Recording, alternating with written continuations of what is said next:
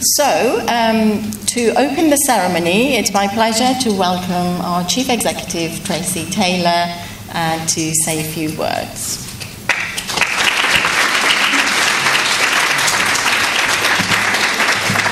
Thank you much, Gan. So, um, hello and welcome um, to this afternoon's awards ceremony. Um, I'm really looking forward to hearing all the exciting things that you great people have been getting up to um, over over the past 12 months, and I'm sure that our guest speakers who will be delivering the awards um, will be as excited as I am to hear about all the innovation, the transformation, um, and the hard work that everyone in the room, that are in your teams and in your services, put together and do on a day to day basis. We are incredibly fortunate um, to have such great people that work um, here at NUH. I've been here for 10 months now and I've been absolutely blown away by the dedication, the caring, the commitment that have been shown by the people that I've met, um, by the services that I've come in contact with, um, and from the, the services that I hear about from other people around the organisation. We have a large number of people who work day in, day out to ensure that you are, everyone is improving continuously the care that we deliver to our patients. Every single one of the 15,000 staff that work in our organisation makes a valuable contribution. And the people in your services, healthcare scientists, AHPs, pharmacy, and the technical support staff that work with you um, are a absolute um, centre um, uh, team and contributor to that. Everybody makes that contribution, whether they work in administration, whether they work in clinical support, whether they actually deliver clinical care, whether they're porters, cleaners, work in housekeeping, finance, HR.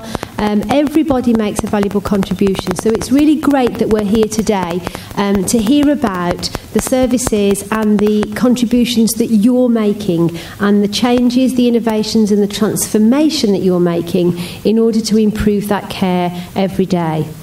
The awards are called Transforming Care Awards, um, and actually, that is a real tribute to you and your services that you are championing the transformation agenda here at NUH. We are um, we have um, launched a new strategy where we have six P's: um, people, um, patients, people, partners, place, potential and performance. See, I haven't got my speech and I've remembered them all. Uh, so, in, in, in terms of, of patients, we are really, really aiming to ensure that we are outstanding in everything that we provide. Um, the care that we deliver and the experience that our patients receive um, when they come into contact with our services, and also the experience that our staff um, have of working in here. And that leads us on to our people strategy, where we are really clear about supporting, developing um, our staff in the organisation, making sure that you feel valued, that you feel motivated, and that we equip you with the skills, the competencies, and the development that you need to do the jobs that you do as well as you do them. In terms of place, we have an ambition to invest um, in our estate. Um, we're sitting in a lovely building here today, but as many of you know, the buildings that we have across our trust vary in, in terms of their age um, and their state. So we have a, a long-term um, investment strategy to invest in the state and bring it up to 21st century environments for our patients to experience not only the care that they receive from yourselves, but also that they're actually receiving that care in an environment that's conducive um, to a modern world. But also within our place um, promise, we are investing in a digital infrastructure to use and embrace technology to make sure that you have, again, the equipment and the ability to do your jobs. We have an aim to be a paper light organisation, but also that we can actually join with our partners in our um, other providers outside of the hospital so that our patients get a better experience by us sharing information um, about them with the partners who actually also have a part in their care. In terms of performance, um, we perform really well at NUH across a wide, a wide range of performance indicators.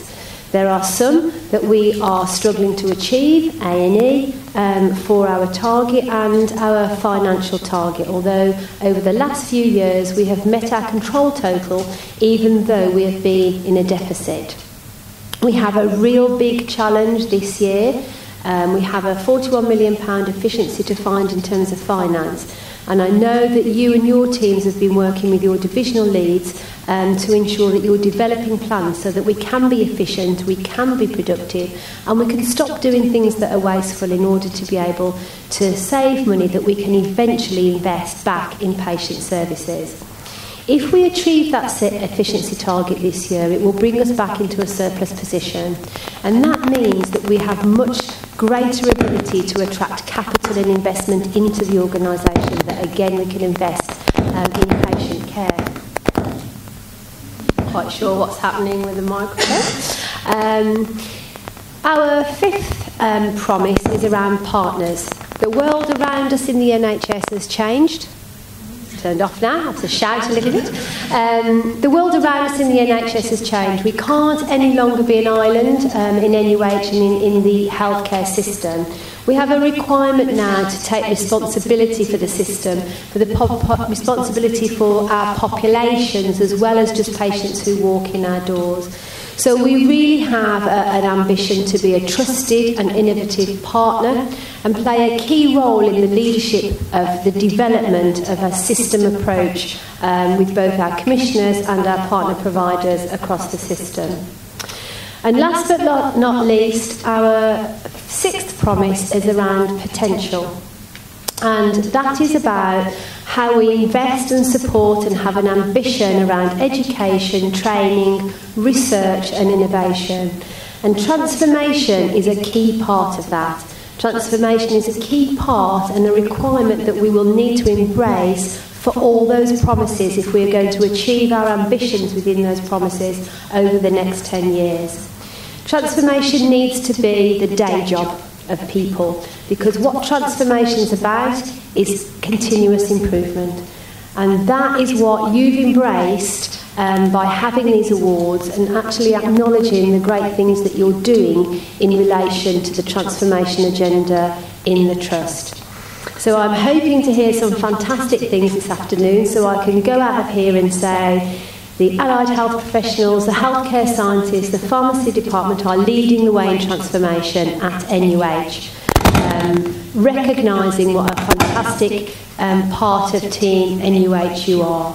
So I'm going to leave there and I'm going to hand over to whoever, hopefully we can sort out the mic, um, whoever is, is giving our first awards this afternoon. Have fun.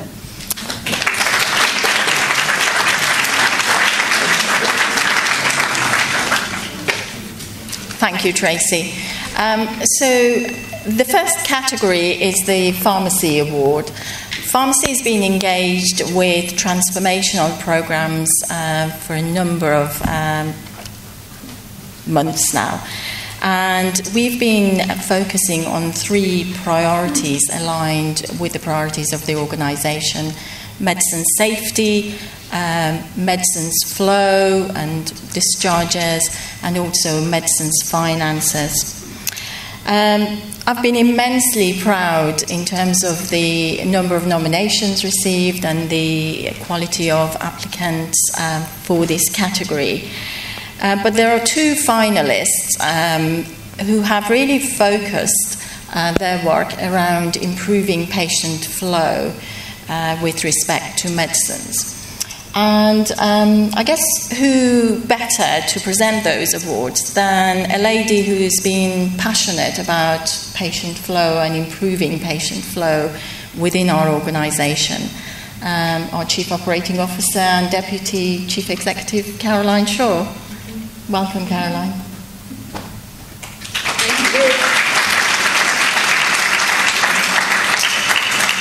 No, I don't stand a chance of reaching that, do I? I'm the smallest executive member. I don't stand a chance of that. I will try. Um, so, first of all, it's a real privilege to be here. A huge thank you. Um, as, as, you are well aware of, I'm. Um, oh, brilliant. Caroline, and um, the Chief Operating Officer and Deputy Chief Exec. And my job really is about Whisk on Diddy. Thank you. Um, my job really is about running the hospital, and making sure we give fantastic patient care and making sure we do it in a timely manner. And for the ones in the audience who have the pleasure of going to Goldbeaton in the morning, I like my numbers at the same time. Um, so, and detail of numbers helps make good management decisions. So when I look at pharmacy today, it's a huge, huge department um, doing fabulous delivery of care doing fabulous things for our patients. And um, I've got some statistics to share with you, which is what might be quite useful. So on a weekly basis, we deliver 1,500 TTOs. That's a huge number, isn't it? Um, on a daily basis, we do 964 patient reviews to make sure our patients are safe, which is absolutely fabulous. And finally, I looked at this, I thought actually I pushed a bit higher, so I'm going to ask more questions about this afterwards. Um, we do 68 ward rounds and 33 MDTs. And we do that in a sense of spirit to best care for our patients and delivery. And um, the other thing before we go on to um, our videos, um, the hospital is really like a cake, isn't it? Uh, it's got lots of different ingredients, and if you're going to put it in the oven it's going to rise, you've got to make sure that everyone pays a part. And to everyone in the audience and everyone who's a healthcare professional, um, supporting the trust and delivery of patient care, every one of you is important, and particularly our pharmacy colleagues, so a huge thank you, because sometimes I to focus on nurses and medics, but actually um, it's you guys also make that Christmas cake or birthday cake great. It's not like I do any cooking myself, I'm a nice lady, I get. So look to the shortlist and finalists, and these are people who really focus on improving flow and delivering our services very differently. Um, so we're going to go to the individuals now, which is absolutely huge thank you. You all might day every day. Thanks.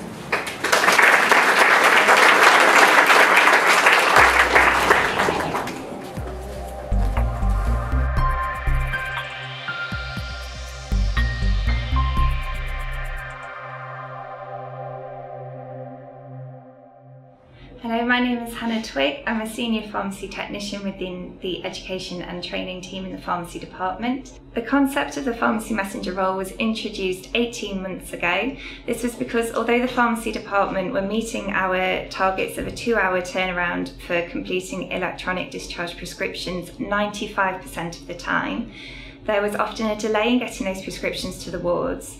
That was because we were reliant on the central portering service to collect those prescriptions at set times of the day, and that could result in waits of up to four hours. The audit of the pharmacy messenger role, which was taken shortly after the role was implemented, showed that the time um, between the completion of an electronic discharge prescription and the receipt of it on the wards was reduced on average from 92 minutes to between 9 and 16 minutes. In addition to this, our pharmacy messengers have received the training required to allow them to deliver controlled drug prescriptions to the wards, um, which means that the nursing staff are able to remain on the wards and continue caring for the patients where they're needed. If a patient has been transferred to a different ward, then John makes sure that the medication is taken to the new ward for the patient. This saves pharmacy time, nursing time, and also it saves the cost of a redispense of any medications that would otherwise go missing. The benefits of the pharmacy messenger role are clear to see. To name just a few, it improves the patient experience and patient care with regards to their medications. It saves pharmacy and nursing time, and also it saves cost in terms of any lost or resupplied medications. As a result of the success of the pharmacy messenger role, we are looking to um, produce new pharmacy messenger roles in the future. I have John with me, who is our pharmacy messenger. Everyone's always grateful for the service I provide, particularly the nursing staff with all the time that's saved. They don't have to worry about where the medication is. TTOs in particular, with patients either on discharge lounge or B49, the transport will be booked ahead of when the TTO is being prepared, so the nurses no longer have to worry about well, where's the TTO, is in the cupboard? I'll just bring it down when it's ready, and they can discharge the patient as soon as that's done.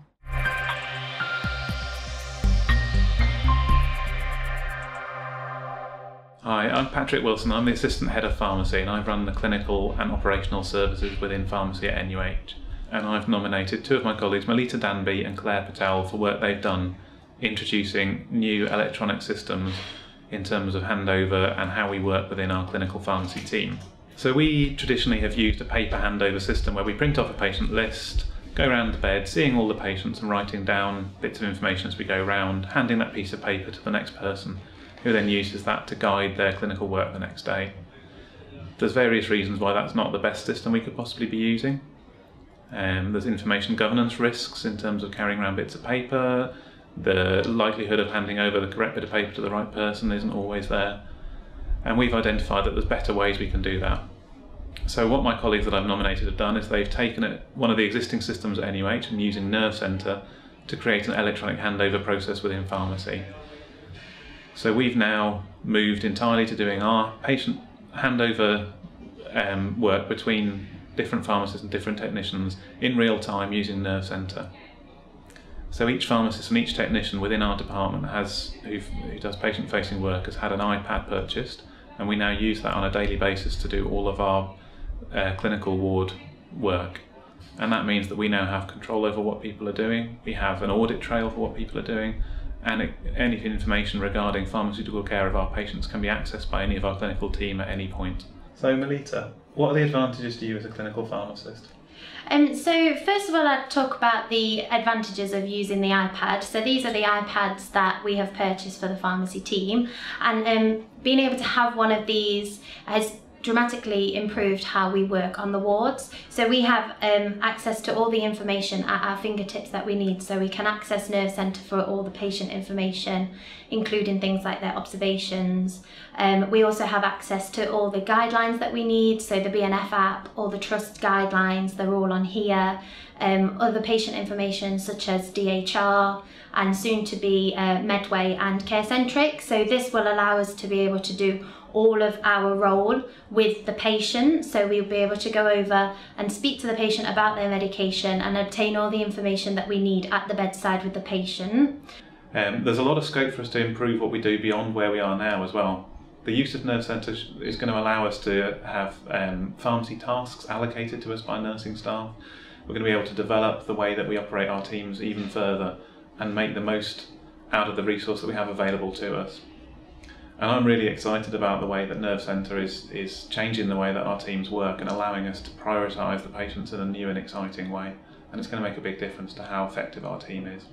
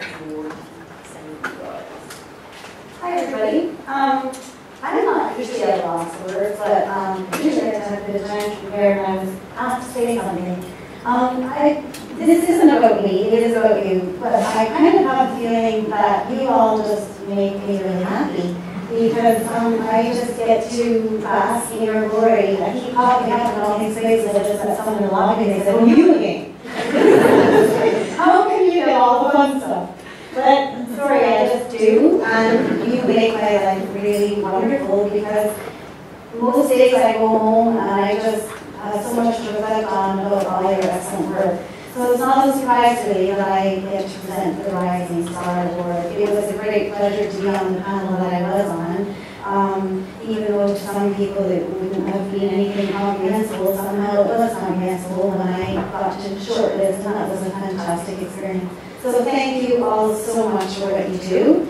I'm going to move over now and you see your work.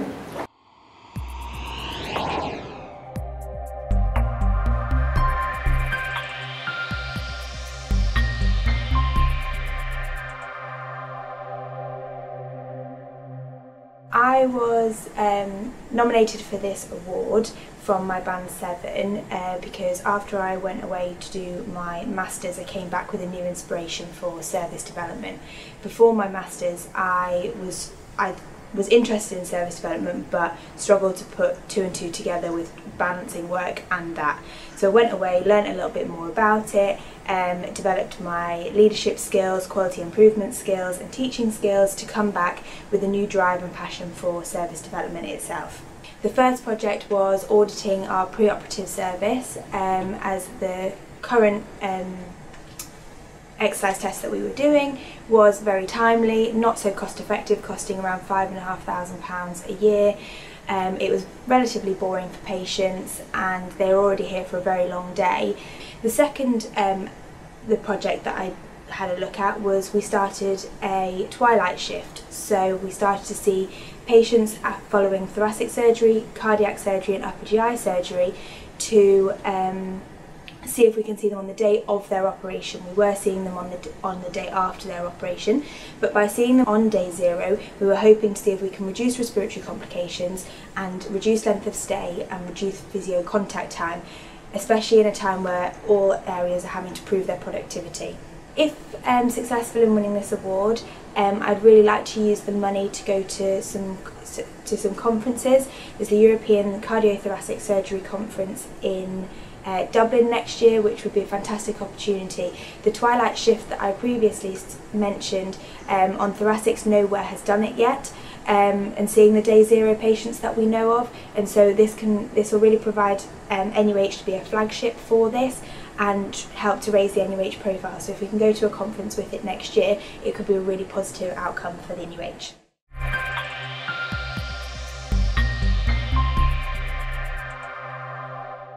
Hi, my name is Jamie Chowdhury and I'm speaking on behalf of the CT colonographers regarding the Rising Star Award.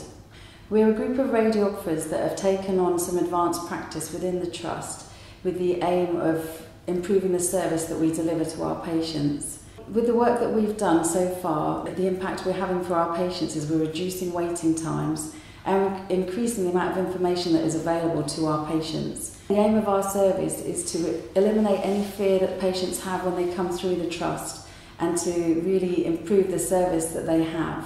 If we were to win this award, we would be using the funds at the end towards further training radiographers and hopefully an ESGAR registration.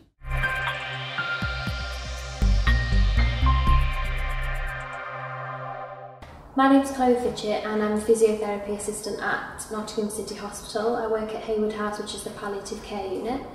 I've been nominated for this award by my colleagues for um, my progression throughout the role of physiotherapy assistant and also for um, taking the role of end-of-life care champion throughout therapies.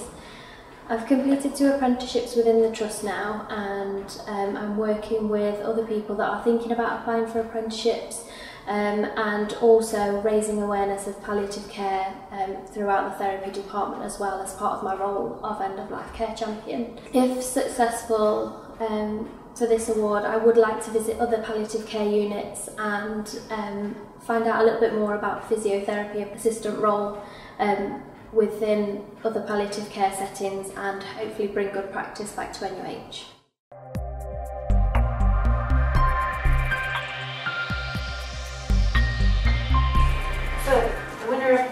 Award is Kate Barnett.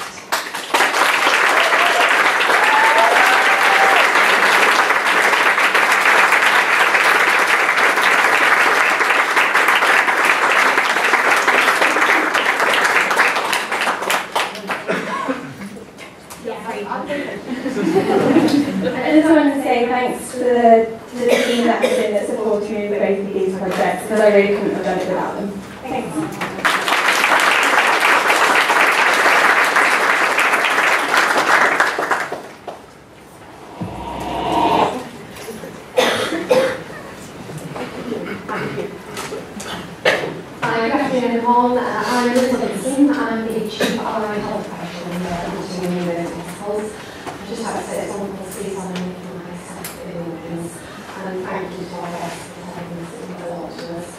I've been at um, Nottingham for two years now, and it's my absolute pleasure to do this role. It's quite a new role in the NHS, so uh, NUH has been quite innovative in introducing it. Um, I'd just like to say thank you so much for the um, applicants that have actually applied for this uh, award. We had an excellent day shortlisting. I think it was one of the hottest days of the year. Candidates that will remember that.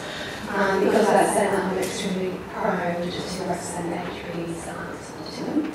So before further ado, I'd just like to um, offer a warm welcome to Mandie Sunderland, who's our chief nurse at Nottingham University Hospital and my executive lead, just to say a couple of words if you don't mind. Thank you.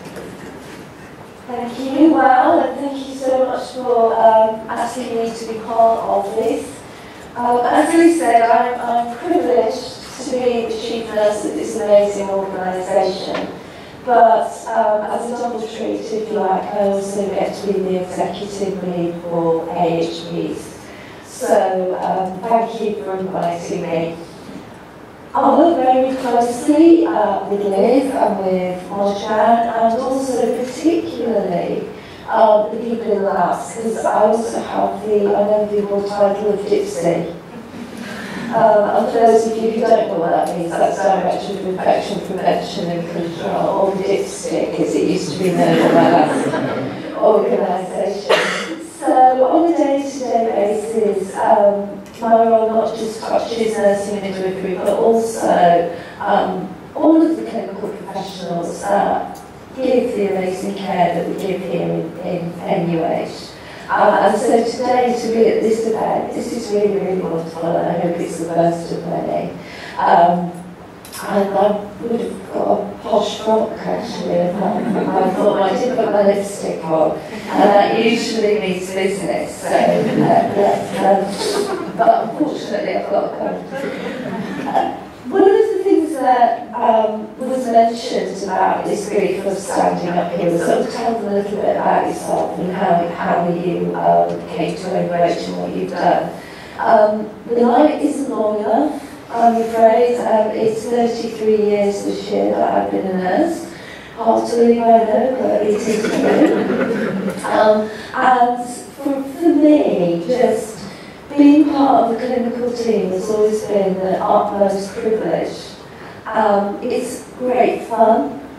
It's great to be part of a, team of people whose fundamental role is to make other people better. And that's why it's so great to see this kind of award because I think it was Caroline that said there's such a diversity of roles in that team. It's not just about doctors and nurses. So that's why this is so very, very important. And I've been privileged to work in, in lots of different places. I've worked all over the country. Um, you know the way some people give directions by pubs? You know, they say, you know, go turn left at the Duke's Head and right at the Red Lion. I can do it by hospitals around the country. Um, but this, I can honestly say, is the most special organisation that I've ever worked in, and it's a huge privilege to do so. And if we just cast our minds back to six months ago, when we were watching Hospital, and how that all made us feel, and how um, social media was buzzing with all of our pride of working in this amazing organisation, I think the best bit of all though was the opportunity that gave to showcase the diversity of roles and the amazing skills that some of you have and how they contribute to patient care. And I still get stopped at conferences and meetings, people asking me, have I got an update on the patients that were um, in that programme. So that's a real marker, I think, of the impact that you have every day. So I'm very proud to be able to um, award the AHP Awards, and let's just, like Oscars, this, isn't it? Let's just look at the people who've been shortlisted.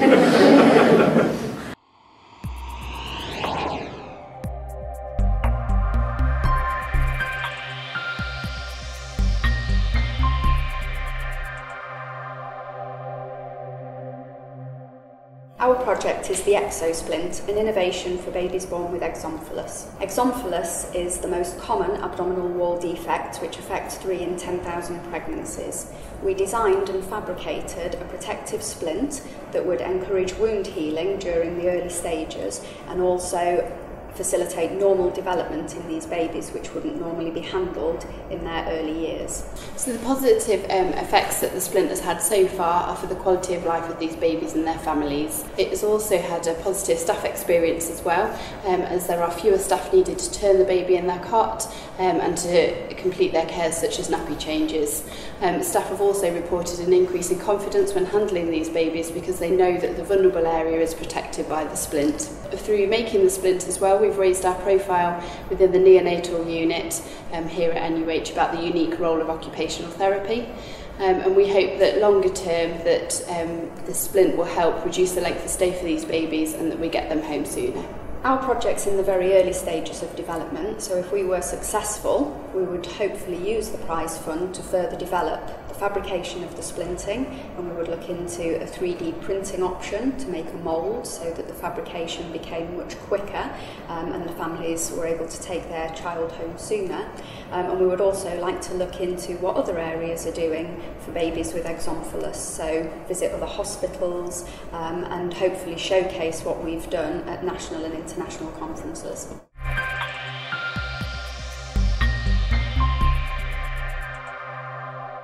Hi, my name's Jerry Chowdhury and I applied for the Transforming Healthcare Awards on behalf of the CTC colonographers. We applied for this award originally because we've done a lot within our team to change how we deliver our service to patients. The impact that this has had on our service is that we are reducing waiting times for patients and increasing the knowledge that people have and awareness of the test.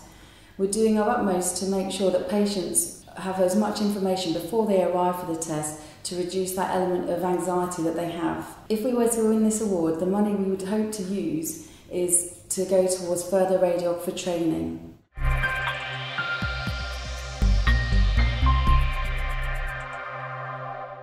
I'm John Ridgway. I'm an advanced practitioner, occupational therapist in critical care. I've been nominated for designing an innovative occupational therapy service which delivers structured cognitive and functional rehabilitation to critically ill patients here at NUH and in particular City Campus. The project has made positive impacts on patient outcomes with regards to their cognitive function and their activity of daily living, and we know this from completing outcome measures.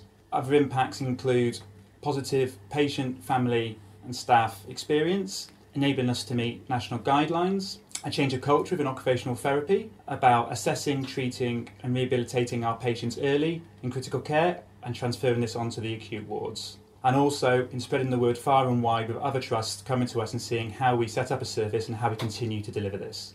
And if I won the award, I would like to go to Paris for the European Society of Intensive Care Medicine annual conference.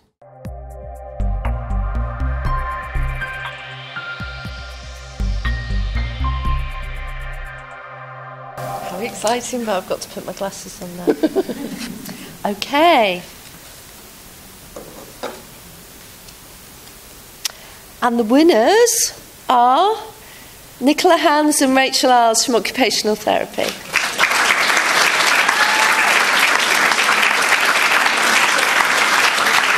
Congratulations. Congratulations. Ladies. Girls, do you want to say anything? To? you don't have to. No, we'd just like to say thank you very much for the opportunity and we really look forward to taking our project forward. Thank you.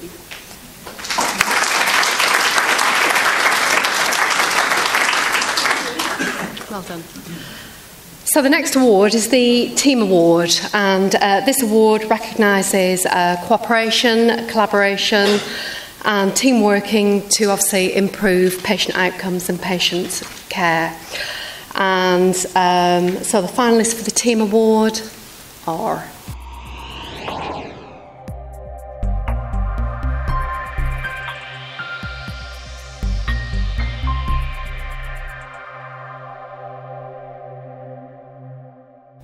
Hello, my name is Anna Bangiri. I am an SRS uh, physicist and I work in radiotherapy. I am part of the stereotactic radiosurgery team that has helped set up a pathway for patients with brain metastases in the East Midlands. With the help of Macmillan, we have set up a brain metastasis multidisciplinary team that has been established to ensure that consistent decision making for all these complex patients and to improve their access into palliative care. We have developed a brand new radiotherapy treatment planning, verification, and treatment delivery technique using state of the art equipment.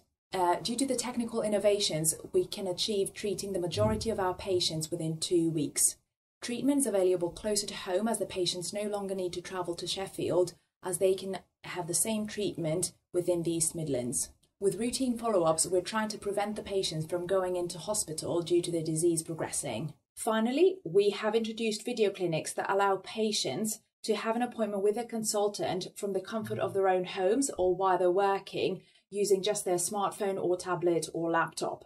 This saves an average of 73 miles per travel consultation. If I'm successful in my application, I would like to attend the Novalis Circle uh, International Conference in Munich, which will allow me to meet with other professionals and also see how other centres have implemented stereotactic radiosurgery in the world.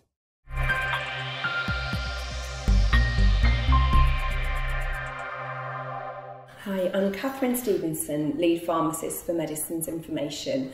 Our project was to um, implement a medicines helpline for patients at Nottingham University hospitals. The aim was really that this would help to um, for patients to have a point of contact if they had any medicines related queries following discharge from hospital and also any recent outpatient um, appointments. The main impact of this project has been that um, in terms of the volume of calls, we've had 280 calls in the last year since we ran the helpline and we assessed user satisfaction by asking our um, callers on a scale of 1 to 10 where 1 is unlikely and 10 very very likely whether they would recommend the service to family and friends um, and then from that we calculated net promoter score which has been 100%. Um, also looking at trends of inquiries, we've noticed that a lot of our inquiries, inquiries have helped patients um, improve how they take their medicine, so improve compliance, and also some have highlighted um, side effects in which we've been able to advise which medicines patients should stop, and also highlighted any medicines interactions um, with other medicines that they've been prescribed. And further steps will be to um, feedback to clinical teams within the trust if we notice any trends. So we need to really now look for trends in calls and then provide any necessary feedback. In terms of what any um, any prize money would be spent on, we're going to have a new member of the team in September to go on a medicines information training course, um, which um, would make sure that he has vital skills for working and answering inquiries within the team and also to send um, one or more of um, my colleagues on um, a course on the UK MI seminar course, which is in September. So we would need some funding to go on that course.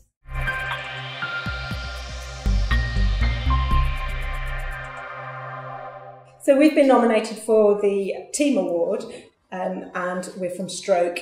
So in April 2017, multiple changes in the stroke pathway are happening, causing uncertainty to patients and staff in the provision of rehab. As a senior stroke therapy team, we recognised this would be a challenging time, but we wanted to demonstrate as a team the positive role as leaders we had in uh, providing excellent rehabilitation and being at the forefront of service development. So our project focused on three main areas, um, streamlining the stroke pathway, um, achieving excellence in care for our patients and promoting the role of therapy within NUH and the wider community. So our impact that our project had was initially on clinical outcomes. So within the stroke rehabilitation area, we reduced our length of stay from winter 2017 to 2018 by 3.9 days. We also, within physiotherapy and occupational therapy, we achieved um, an A-star rating within a stroke national audit.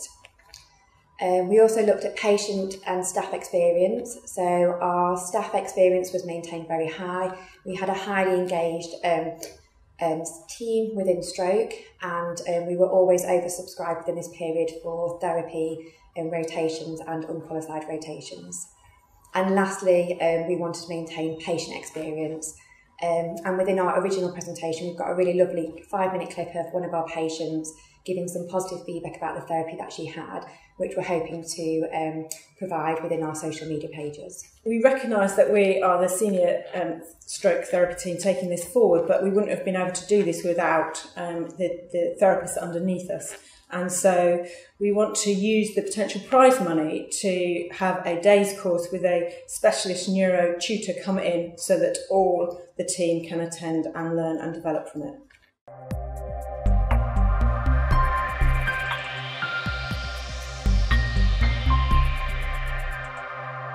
So, to present this award, I'd like to invite Nikki Hill, our Director of HR, to uh, present the award. Thanks, Nick.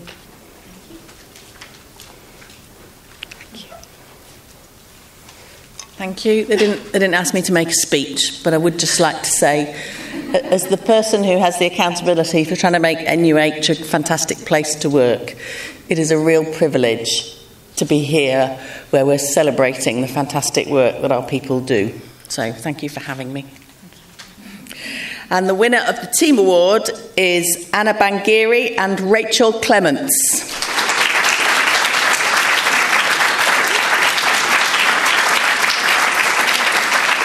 Just Anna then. Yes, she's getting married actually today, so she's getting oh, married. Okay. Yes. Rachel's getting married today, oh, apparently. Oh, That's why she's not here. So, Thank you. Anna, if you want to send, you're welcome. Okay.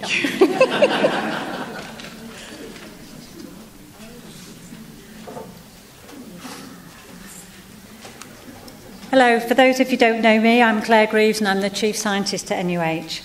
Uh, and I'm just going to say a few words about the Chief Scientist Award before I hand over to Dave Selwyn, the Deputy Medical Director, to um, say a few words and present the award. And I'm really pleased that Dave could come along and present this award this evening because he's been a long-standing champion of the healthcare scientists across NUH. So this is actually the second year that they've done the Chief Scientist Award and it's rapidly becoming the highlight of my year. Um, in the um, Constitution, we promise that we will work at the limits of science to improve life and um, um, improve care. And I think our healthcare scientists show that we do that on a daily basis, and I think some of what you're seeing already and some of what you will see will show that. Um, my job, in part, is to raise the profile of what we do, um, and you guys in healthcare science make that really easy because of some of the fantastic research and innovation, transformation and service improvement that you do. Um, so the finalists cover a wide range of areas um, for, for new genetics procedures, offering a faster turnaround for cancer patients, publication of a Cochrane, Cochrane review um, in audiology, um, helping prevent social isolation and loneliness, um, and the introduction of latest technology techniques in radiotherapy for our cancer patients. And as you can see from that, healthcare science is a really broad specialism. Um, but I really want to thank you all for the commitment um, that you bring and all the work that you do. To, um, and I'd like to look forward to our future achievements together. So thank you, Dave.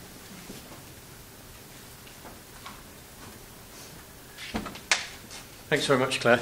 Um, so she said about 20 minutes speech, so um, uh, I hope you enjoy it. Um, so, so it's a real pleasure to be standing uh, before you to, to celebrate all these awards. I think this is a really strong uh, theme that's run through from the whole executive team, and it's it's a part of a way of we're showing some appreciation for the work that all of these groups do.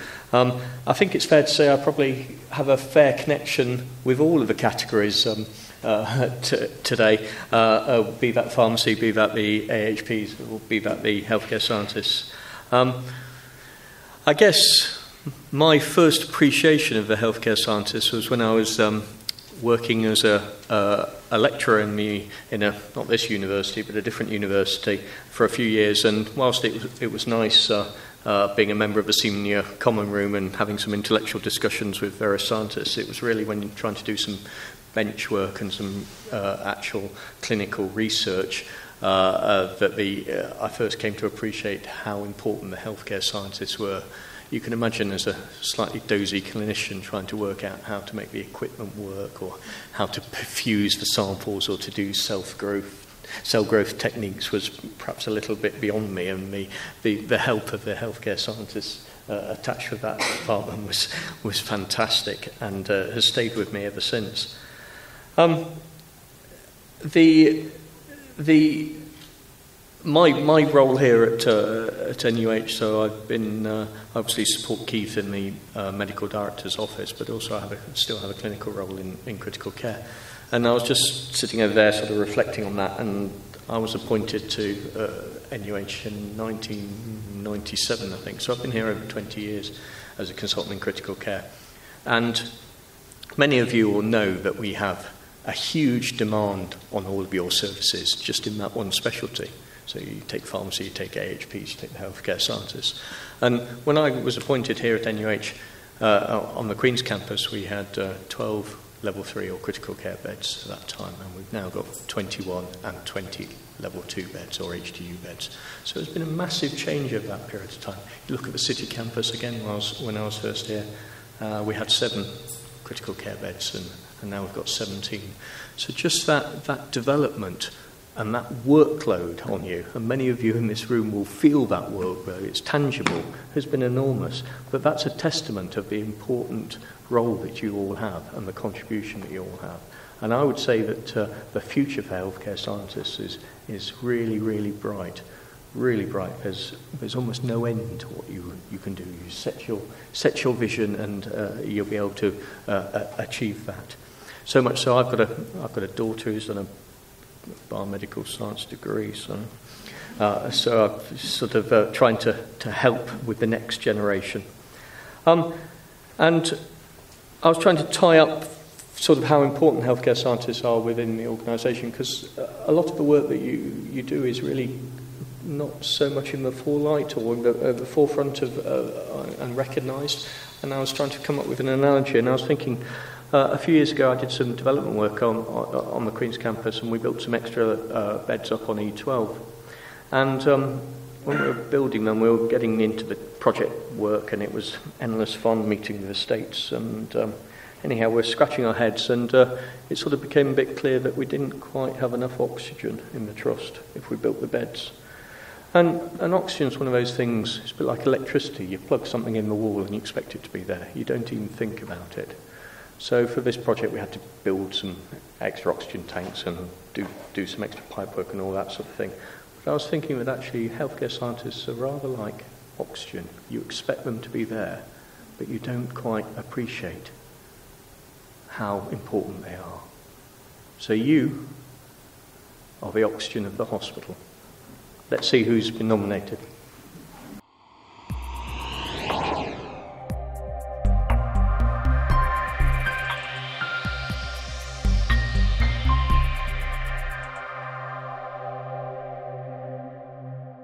Name is Lewis Darnell and I work over in molecular genetics and I've been nominated for the Chief Healthcare Scientist Award. The project I was working on aimed to validate um, a new scientific assay um, that's been designed specifically for our laboratory to streamline genetic testing for um, hereditary cancers, Rett syndrome, limb abnormalities and autosomal dominant, dominant polycystic kidney disease uh, into a single assay without any additional funding, uh, laboratory staff or equipment.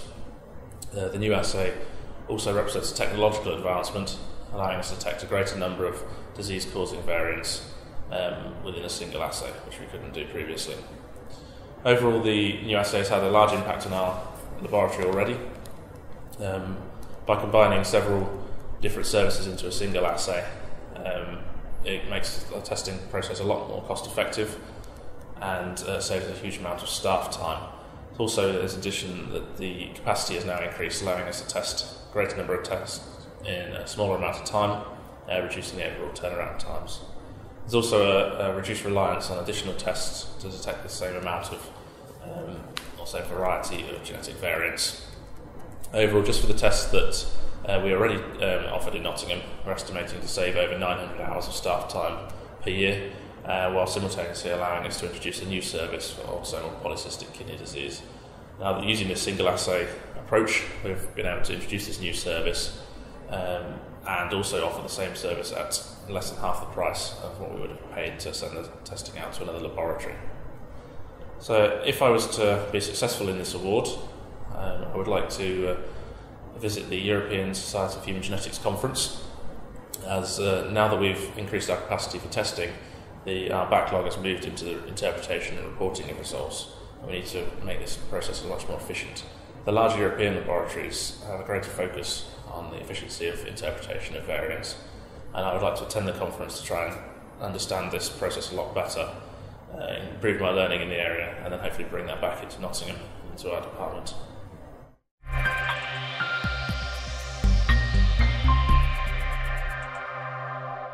I'm Mel Ferguson. I'm a consultant clinical scientist um, at NUH and also an associate professor at the University of Nottingham. I lead a research team looking at mild to moderate hearing loss at the NIHR Nottingham Biomedical Research Centre. Hearing loss is highly prevalent in the population. 11 million people in the UK have hearing loss. That's one in six of the population. And 70% of people over the age of 70 years old have hearing loss. Um, it's a hidden disability and affects um, not only the person who has the hearing loss but also their family and friends. The main intervention for hearing loss is hearing aids. Um, they have been provided uh, free on the NHS since its inception in 1947. In 2015, a clinical commissioning group decided that they were no longer going to offer hearing aids to people with mild to moderate hearing loss. We looked at the evidence um, to see how effective hearing aids were and found that there was very little robust evidence available. To address this, we carried out a Cochrane review looking at the effectiveness of hearing aids um, in adults with mild to moderate hearing loss. Cochrane reviews the highest level of clinical evidence and are used to determine the allocation of healthcare resources and clinical decision making. We were able to demonstrate for the first time that hearing aids improve general health related quality of life. Um, the effect was small, but it was still significant. The greatest impact we showed from the Cochrane review was that they were used as a clinical evidence for the recently published NICE guidelines on hearing loss alongside the analysis that showed that hearing aids were highly uh, cost effective, the NICE guidelines had a very strong recommendation, which was to offer hearing aids to people who had difficulties communicating and hearing. The Cochrane Review has future proofed hearing aid provision and hearing healthcare in, on, in the NHS in the UK for at least the next five years. If I were to win um, the award, Um, I would use the funds to fund me to an international conference in, in America. Um, this is the American Auditory Society, which is one of the um, biggest and most influential um, research and clinical uh, conferences um, within hearing sciences.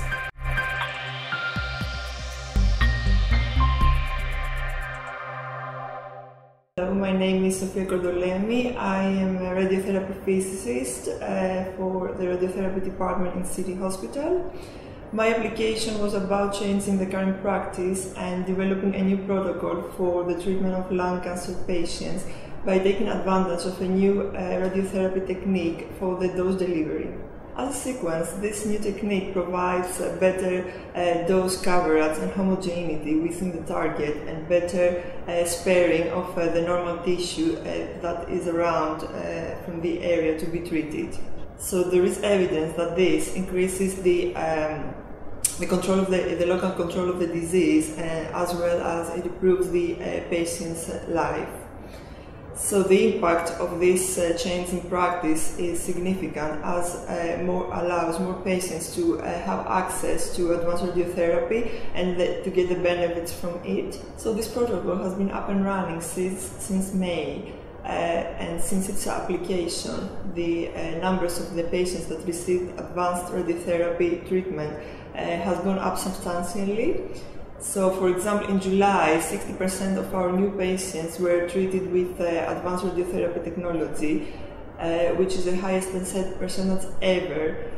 And um, this is in line with NHS's targets, which suggest that 51.9% of uh, the new irradiated tumors should, should get uh, treated with advanced radiotherapy technology. So, if I win the prize, I will use the money uh, for attending a course on uh, dose modeling verification uh, organized by the European Society for Radiotherapy and Oncology. Thank you.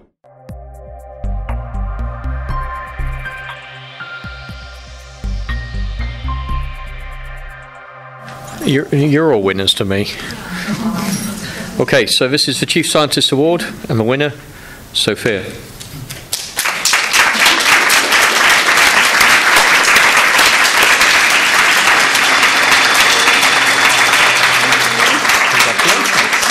Want to say a words? Oh, just thank you to my department and my colleagues for the support. Uh, that's it. Thank you.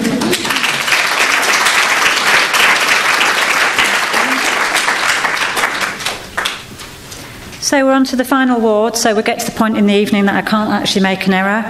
Um, I can't do the Oscars debacle. So um, so congratulations to Sophia. Um, but as Dave said, uh, getting to this stage, everybody is a winner and it really showcases the great work that we do. So um, next up is the Extra Mile Award. And this award recognises staff that have performed above and beyond the call of duty.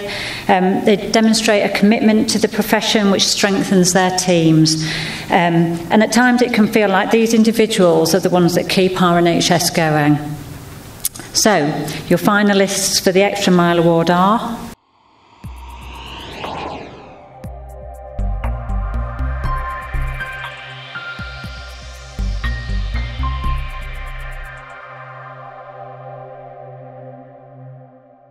Hello, my name is Katie Tague and I am a metabolic dietetic technician and the award that I've been nominated for is the Extra Mile Award.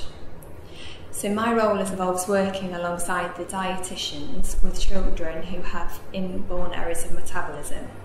Many are purely dietary based and, treat, and poor compliance can result in learning difficulties and irreversible brain damage. I was nominated for the Extra Mile Award for the extra support that I have given to these families and children.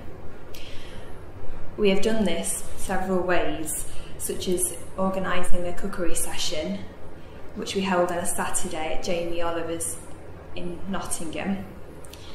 The feedback we had was very positive and the parents welcomed the additional support. I have built strong relationships with these families, helped update resources such as newsletters, organised prescriptions, home enteral feeding products and also additional telephone support. I have also worked with schools and nurseries in helping adapt their menus for low protein diets, making them suitable for the children and also very similar to what the other children would be having. And by doing these events, we hope to see an improvement in the blood levels and also help prevent the potential effects of poor compliance and the potential developmental delay. I would like to use my prize money in advancing my skills in low protein cookery. I would like the opportunity to shadow a national expert who I hope to develop my skills further with and my knowledge of low protein cookery in the hope that I will be able to use this and transfer these skills onto families and children and my colleagues.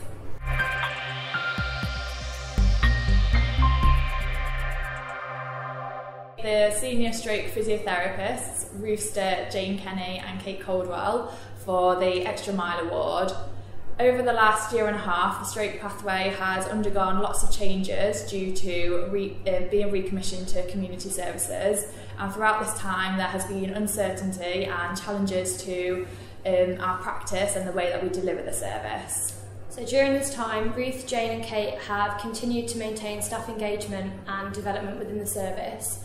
They have encouraged Band 6 projects to look at staff efficiency, which has improved patient activity levels, leading to um, better patient outcomes and reduced length of stay.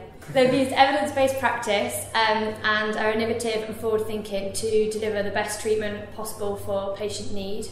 Um, and the Band 6 rotation is um, people asked to stay there um, rotation after rotation, and the Band 5s are oversubscribed um, which all of the above show uh, that it's such a great environment to work in um, and how Ruth, Jane and Kate have gone the extra mile to create such a great environment to be within. Um, so if successful, we would like to reward Ruth, Jane and Kate by sending them to the European Stroke Conference in Athens. This would give them the opportunity to network with other countries leading in stroke units um, to share practice and to bring ideas back to Nottingham to further develop our stroke unit and um, deliver best care possible at NUH.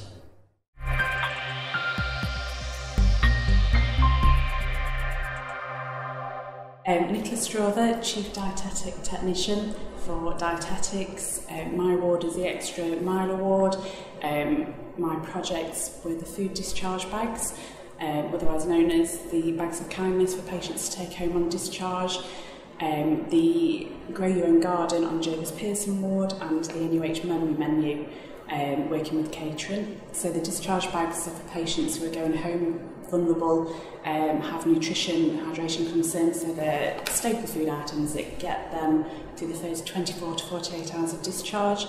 Um, the garden has the impact of just a place to escape for patients. Um, there's an activity, so it supports the end PJ paralysis within the trust, um, and it's just a really therapeutic area for patients and for staff and visitors to use. Um, and then the memory menu was the menu that was designed by the patients for the patients, so we got the public to be involved in designing the hospital food menu. Um, thinking about food that they eat at home, comfort foods that they like when they're ill, and childhood memories, um, and local food within Nottingham. The impact is um, just small things that actually make quite a big difference to patients, that patients will um, remember, and it just supports their discharge home. Um, and their continued care. So when they, they leave us, they have that continued care to go home with. If I'm successful and win, my prize award would go on the Hospital Caterers Association conference, which is in Wales next year.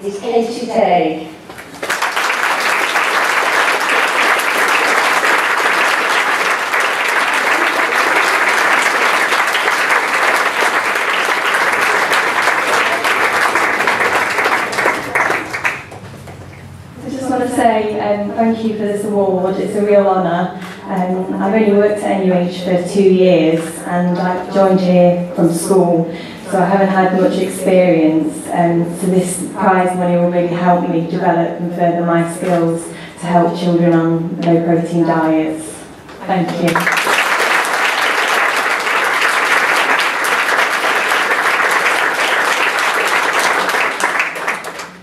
Well, that concludes the award presentations. Um, Barbara kindly just popped in and said, um, just to remember for those of you who weren't successful um, as um, the winners, you can still apply to charity to um, support your attendance and things like that and things that you want to do. Um, so again, a huge congratulations to all the applicants, the finalists and the winners. Um, after we finish, we're going like to do some group photos, if you don't mind hanging around so we can get a few more pictures of you. Um, before um, I hand over to uh, Tracy to close the ceremony, I just want to say some thank yous. Um, thank you for everybody who agreed to go and be videoed. I know it's really to do it, so thank you everybody of joining us for that. I really like to thank the charities um, who supported the awards both in terms of sort of financial support but also in providing people for the judging panels. Um, I'd like to thank the PPI reps who came and joined us on the judging panels along with all the other English staff. And it was that diversity in the judging panels that I think made us stronger. Um, our commercial supporters for tonight, um, Abbott, Vertis Oncology, PTW, um, Imaging Equipment Limited, Research Laboratories, Nutritia, Hearts Hotel and the Beauty Temple.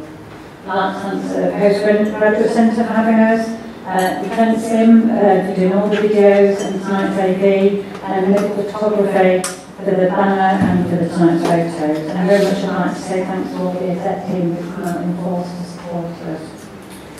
I'd particularly like to say huge, huge, huge thank you to Ruth Bunn. Ruth, stand please. um,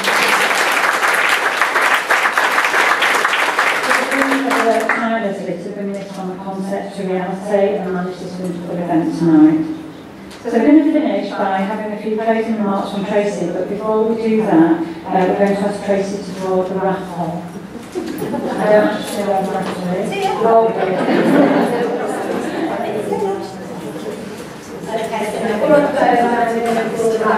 um, just to say thank you to everybody who bought tickets, so we've raised £100 for the raffle for the charity. Um, the first prize is a £100 heart badger, and the second prize is a back massage at the beauty temple. So I'm going to draw out for the first prize. And the first prize is Claire